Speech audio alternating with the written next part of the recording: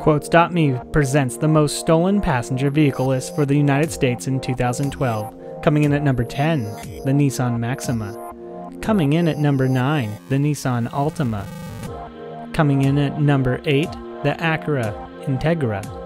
Coming in at number 7, the Dodge Pickup, full size. Coming in at number 6, the Dodge Caravan.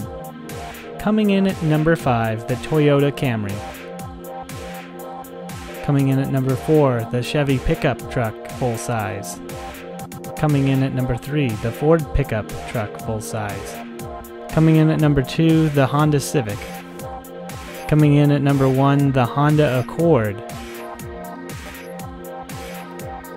The National Insurance Crime Bureau, or the NICB, reports that the Honda Accord was the most frequently stolen passenger vehicle in 2012, with 58,596 thefts among all model years of this car.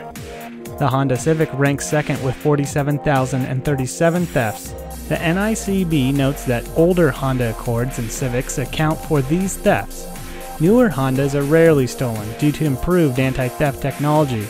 Among the 2012 model year vehicles, the Nissan Altima is the most frequently stolen vehicle in the calendar year of 2012 with 921 thefts, followed by the Chevy Impala with 778 thefts. Don't you think it's time you got insured?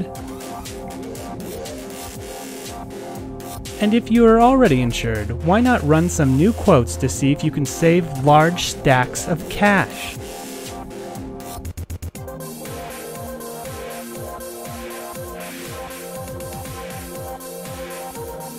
Head on over to quotez.me to see if you can save some big money.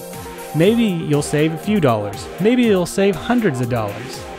But it's worth a shot. Maybe you won't save anything, but it's worth a try, right? So head on over to quotez.me. That's Q U O T E Z dot M E. Quotez.me.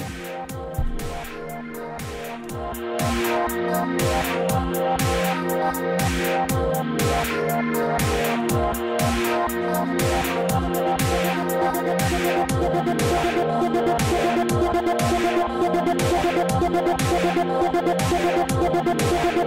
you.